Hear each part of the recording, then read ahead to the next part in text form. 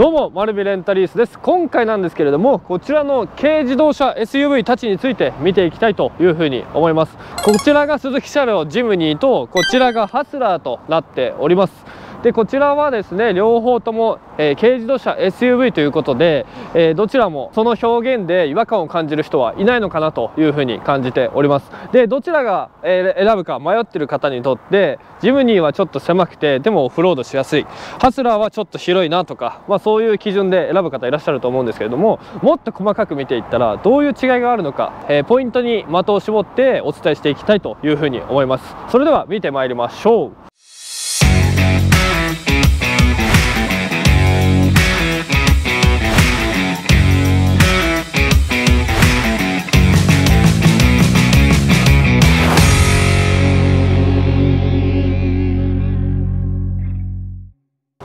はいそれではこちら両車両なんですけれどもどちらも人気車両となっております。ジムニーも1年待ちの車両になっておりますしハスラーも女性の方を中心にめちゃくちゃ人気のある車両となっております。それでこちらの車両の外装内装については詳しくは他の動画で解説しておりますので、え、そちらを動画の概要欄に載せておきますのでご確認していただければと思います。今回は違いポイントを数えながらやっていきたいと思います。それでは1番こちら車両の土台構造についてモノコックとラダーフレームです。それではまずジムニーから解説していきます。こちらはですねラダーフレームとなっております。それでラダーフレームのイメージについてこちらのはしごを使って解説した方が分かりやすいのでお伝えいたします、まあ、このはしごのこの部分これがフレームだと思ってください。でこのフレームの上にこの居住する上のスペースがこのように乗っかってるような感じになっております、まあ、ちょっと大きさの割合はすごいバラバラでちょっと合ってないんですけどイメージはこのような感じです。すごい極太いフレームが見えると思います、まあ、こういったところとかこの太いフレームがジムニーのこの悪路を走行してる時にボディを支えてくれるので非常にタフで強靭な作りになっております。これはハスラーにはない、えー、構造ですね。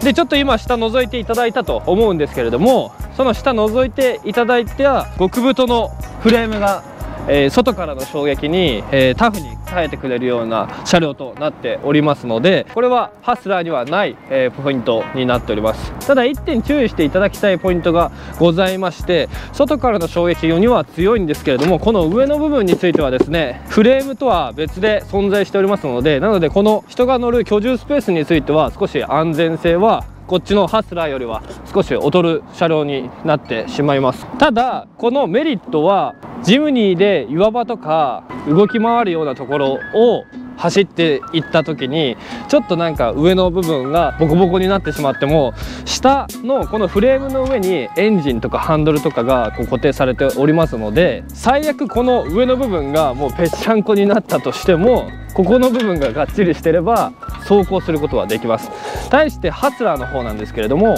こちらはですねモノコック構造という車両になっております。でジムニーは人間の骨のようなものになってるんですけれどもハスラーはですね甲殻類のカニとかの殻をイメージしてもらえたらと思います。フレームとボディがまあ一体になってるような感じの作りになってます。なのでちょっとこれ外観からはちょっと分かりづらいので画像に変えさせていただきますけれどもこのような感じになっているので室内の人がいるスペースの丈夫さはこっちの方がいいんですけれどもボディ合成はジムニーより少し弱い車両になります。まあ一応ちょっと比較で載せておきますけれどもまあ、やっぱりジムニーの方はすごく太いフレームが目立っていたと思うんですがハスラーの方はですねこのように普通の乗用車と変わらないんですけれどもやっぱちょっとジムニーと違うのは細いイメージですね。薄いイメージになっております。ハスラーの方モノコック構造のメリットとしては室内空間を広く、え作ることができますのでなのでボディ合成は正直最近の車のこの構造的に別にボディ合成が弱いとかいうことはないのでこれで十分なので室内空間が広くて中に乗った人がこう窮屈感を感じなかったりとかあと荷物乗せたりする時とかは後ろのスペースが広いのでこっちの車両はジムニーと比べて室内空間が広いのでなのでいろいろジムニーより多目的に使うことができるようになっている車両となっております。それでは車両の規格大きさについて、えー、お伝えしていきたいと思います。まず全長全幅はですねこちら一緒の車両になっております。なので長さと幅は同じですね。違いが出てくるのがまず全高ですね高さ。こちら見ていただいてはっきりとしているかなと思います。ジムニーの方が大きく見えますよね。で具体的な数字で見ていくとジムニーの方が 45mm 大きくなっております。で前高がちょっと高い分ここのミラーのところ見ていただきたいんですけれどもこのミラーの位置から分かるようにですね乗車ポジションがジムニーの方が高いですね。ジムニーの方が高い位置から外を確認することができますので運転のしやすさはこちらの方が視認性はいいと思います。それでは続いてホイールベース見ていきたいと思います。それではホイールベースについてはですねハスラーの方が 210mm 長いです。これかなり大きな違いですね。ちょっとジムニーの方を見に行ってみましょう。ジムニーがこちらですね。なのでハスラーの方が 210mm 長いのでホイールベースが長いことによってやはり直進安定性とか中の、え、乗ってる時の乗り心地に影響がかなり大きく、え、出てまいりますので直進安定性でいうとハスラーの方がホイールベース長いのでこっちの方が安定して走ってくれるということになりますね。それでは続いて最低地上高なんですけども、まあ、こちらも見て分かる通りですね。ジムニーの方が最低地上高がですね、まあ、圧倒的に高い車両となっております。ハスラーの方が低いですね。25mm の違いがございますね。で違いポイント3番 FR と FF 前輪駆動後輪駆動です。こちらの車両ジムニーはですね FR 後ろのタイヤが回転して前に進もうとします。対してハスラーはですね FF 前輪ですねこっちのタイヤが回って前に進もうとしてくれます。普通に雪道とかを走ったりする時とかはですね FF の方が、まあ、構造上は有利なんですけれどもジムニーの方はですねもともと結構荷物を積んだりとかすることを考えられて作られている車両っていうこともありまして後ろに荷物を積んで後ろにちょっと体重がかかるような感じですね。まあそういう風にもともと使われていたジムニー自体に長い歴史がございますのでそれで FR となっております、まあ、実際のところ4駆の、性能についてちょっと簡単に、解説していきますと、まあ、こちらの車両は4駆なんですけれどもここジムニーにワンポイントございましてですねちょっと車内の方にこのレバーが2つついていると思うんですがこの下についてるレバーがトランスファーレバーと申しまして任意で肉と四駆を切り替えることができるレバーになっております。これがですねかなり車の業界的に希少種となっております。で軽自動車でこれがついている車両はほとんどないです。まああと軽トラックとかそういう車両しかないですね。乗ってる人の任意で肉四駆を切り替えることができますので運転していて遊べるような車っていうような感じですね。すごい楽しい車になっております。続いて4番エンジンについて見ていきたいと思います。縦置きと横置きについて解説していきます。まあボンネットの重さもだいぶ違いますね。ハスラーの方が圧倒的に軽いです。はいそれでは見比べていきましょう。まずこちらエンジンについてどちらも直列3気筒のエンジンになっているんですけれどもこれハスラーはですねエンジンがこのように横に置かれてるんですよ。ちょっと見て横に置かれてるのに対してジムニーの方はですねこれこういう風に縦に置かれてるんですよね。でこのポイントなんですけれどもジムニーはですねこの前後の比重がですね50-50になるように設計されております。このエンジンって車のパーツの中でとても重たいパーツなのでどの位置にあるかで前後のバランスすごく変わってまいります。ちょっとこの位置から見ていただいたらすごい分かりやすいと思うんですけどタイヤとエンジンの位置。真ん中に来るようになってるんですよね。だからエンジンの位置がちょっと若干後ろの後ろに行っててこのエンジンの置いてある位置が、まあ、こういう風に置いてあるんですね。このタイヤの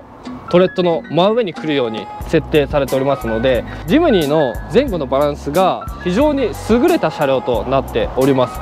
これが横置きになるか縦置きになるかで車のバランス的にこの縦置きっていうのは、まあ、ジムニーとしては相性のいい置き方になっております。対してハスラーはそのバランスをジムニーほど気にしなくてはいいんですよね。なのでアスファルトの上を走ることがメインステージになっていくのに対してジムニーは岩場とか海とか山とかそういったところを攻めることを前提に作られておりますのでなのでバランスが非常に重要になってくるんですね。ここもハスラーとジムニーの大きな違いポイントになってまいります。違いポイント5番。内装の違いですね。内装の質感について見ていただければと思います。でハスラーの方はですね、まあ、こういったところの作りがですね非常にこうおしゃれな感じに出来上がっておりますね。樹脂パーツとかも使われていて飾り気加色が結構こう印象的なデザインになっております。SUV の外観に反して普通の乗用車っぽいえ、内装の質感っていうような感じですね。先ほど車両の構造についてお伝えした通りなんですけれどもモノコック構造は室内空間を広く取りやすい構造になっておりますのでなので後ろに乗った時の天井の広さ乗った時のこう窮屈感とかこの荷物を置くスペースとかですね。こちらちょっと倒すとですねかなり余裕があります。でこれ前のシートもですね倒すと極限まで前に出してまあ、前のシート倒すと、まあ、こんな感じになりますので車中泊することができるスペースということで、まあ、人が入り込んでも余裕があるような印象ですね。ジムニーは2ドアになってるのに対してハスラーは4ドアなので乗り込みやすいです。ここから乗り込んでであとマットとかあればもう完璧なんですけど、まあ、こうやって人が入り込んで、まあ、マットがある程度ちょっと見てもらえたらいいと思うんですけども車中泊するには全然申し分ない余力のあるような感じで過ごすことができますね。だから仮にまあ2人で寝てもまあ窮屈感はないのかなというふうに感じます。じゃあジムニーの方はどうでしょうか？対してジムにまずトランクのスペースから見ていくとちょっともうすでにちょっと倒してるんですけれども前のシートの状態によってはこれつっかえてしまうんで戻しに行かなきゃいけないです。これちょっと煩わしいですよね。ハスラーと違うのはやっぱり乗り込む入り口がここから頑張って登るかあとまあジムニーは2ドアしかないのでこの助手席側から 頑張ってこうやって乗り込むかになりますのでなのでちょっと乗り込みづらいです。車中泊する広さとしてまあめちゃくちゃ狭いなっていうようなやっぱ感じにはなりますね。まあ、ちょっと構造上ラダーフレームになっておりますのでここの空間の狭さはどうしても感じてしまいますね。乗り込む時も4人乗りなんですけどもここからこうやって頑張って乗るんでまあ今ちょっと後ろにハスラーあるんで乗り込みづらいですけど後ろに人を乗せるってなった時においしょってちょっと頑張って乗り込んでこんな感じの広さですね。やっぱり少しちょっと窮屈感は感じてしまいますね。でこれちょっとまだ直立状態なので倒してまあこんな感じですけども。後ろには乗れるけどあんまり乗ってて快適なものではないですね。ちょっと狭いっていうのはどうしても感じてしまいます。車中泊するにもやっぱり広いには越したことはないのでジムニーで車中泊できなくはないですけれども、まあ、ハスラーの方が快適なのかもしれないですね、まあ、車中泊に目を向ければ、まあ、そういう風になっちゃうかもしれないんですけれども。まあ、それ以外の良さがジムニーにはありますので選ぶ時の尺度としては何を優先するかで、えー、どっちがいいっていうのが変わってくると思います。出る時もですね足がつっかえますね。ドアはもっと開くんですけど足がやっぱつっかえちゃうんでちょっと出入りはしづらいです。まあ、ここがジムニーのウィークポイントにはなりますね。ただそれを超える、まあ、強いポイントがありますのでこれはジムニー乗る方は諦めていただいた方がいいと思います。ではジムニーの運転席側の内装質感について見ていきたいと思います。ドアの内張りから分かる通りですねこのようにこう太いグラブが、えー、印象的ですね。力強いタフさ強靭な、えー、作りになっております。こういったところの作りもですね何ていうかハスラーは樹脂パーツでこう加色されてる印象が強かったんですけれどもこういうザラザラした作りが非常に多いですね。でここにもですね太いグラブがついておりますよね、まあ、ちょっと車高が高い車両になっておりますのでここを掴んで乗り込むことができるようになっております、まあ、気休めみたいな感じでここ一応トレーもありますけれどもまあちょっと物は落ちそうですね。これマニュアル車両になっておりますので、まあ、このようにレバーがこういう風に並んでおりますけれども本格派 SUV っていうことで強靭タフ力強いそんな印象をちょっと与えてくれる内装のデザインになっております。ハスラーは乗用車って感じなんですけれどもジムニーはやっぱり遊びに行くぞっていうような感じになる車両かなというふうに思いますね。面白いですねデザインが、まあ、この辺のスクエアな印象もまたちょっとおしゃれですよね。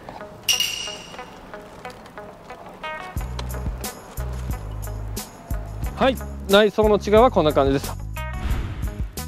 はい。ということでこちらの車両たちいかがだったでしょうか、まあ、どちらも軽自動車 SUV という、え、ことで足元の悪いところを走ったりするのは両方とも向いているんですけれどもより強力な本格派 SUV と、まあ、ちょっと乗用車に、え近づいた SUV ということで違いがちょっとはっきりしたのかなというふうに思います。なのでどっちを買おうか迷ってる方について僕から担当直入に言いますと足元砂利道アスファルト以外を走る方は絶対こっちの方がいいです。そういうところは遊びに行くぞっていう思いがないとそういうところにはなかなか出くわさないと思いますのでそういう使い方をしたい方は迷わずジムニーを選んでいただければと思います。対してハスラーの方はですね内装を見ていただいた通り少し乗用車に寄っているような車両となっております。なので室内空間の広さとか荷物を、え積む、え積載力とかそういった部分を見るとハスラーの方が幅広く便利になっておりますのでスファルトで走っていって遊びに行くとか釣りに行くだけだとか